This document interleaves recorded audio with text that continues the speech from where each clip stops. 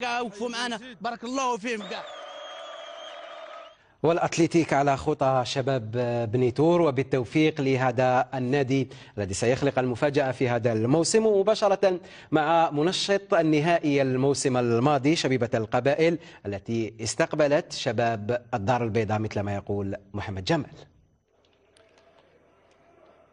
بتعداد متغير ومن الشبان وفي غياب الركائز واجه شبيبة القبائل المنافس شباب الدار البيضاء المنتمي لقسم الهواة وبكامل عناصره الباحثة عن المفاجأة إن أمكن ذلك. ولم نشاهد الفرص السانحة إلى غاية الدقيقة الرابعة والثلاثين حين كشف اللاعب حمزة يدروج عن قوته في التسديد فسجل الهدف الأول لشبيبة بروعة كبيرة. وبالقدم اليمنى التي أرسلت كرة لا ترد في مرمى الحارس بولسنامي. وعلى الهدف الجميل والرائع انتهى الشوط الأول بين الفريقين. في الشوط الثاني حمزة يدروج نصب نفسه نجما وهدافا عندما استغل هذه الكرة العائدة. فسجل الهدف الثاني لمصلحة شبيبة القبائل وببراعة كبيرة. فأعلن عن ظهور رائع ولامع في أول مباراة له كأساسي لكن سي عمار لم يسجل أمام براعة الحارس بولسنامي في الدقيقة الخمسين.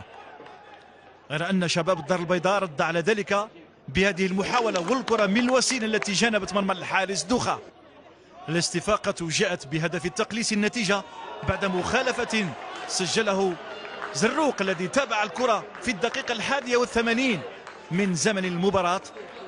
هدف أغضب الحارس الدولي دوخة الذي كان بارعا بعد ذلك في إنقاذ مرماه من هذه الكرة القوية من بوجادة في الدقيقة الخامسة والثمانين من زمن اللقاء.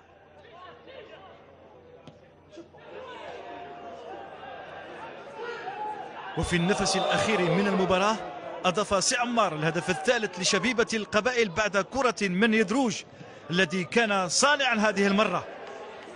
فتأهلت شبيبة القبائل إلى الدور السادس عشر من كأس الجزائر على حساب شباب الدار البيضاء.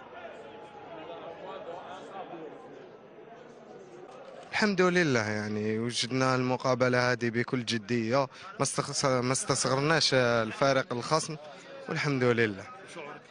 يعني اسعد راجل في العالم. تهمنا بوكو بلوس البطولة ولكن هذا هو. هذه هي كأس الجمهورية. الفريق اللي كان لازم يفوز فاز.